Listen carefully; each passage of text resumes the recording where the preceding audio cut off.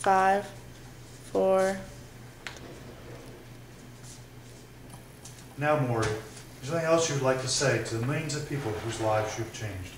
Yes, Ted. Be compassionate. Take responsibility for each other. If we only learn those lessons, this world would be a much better place. Love each other or die.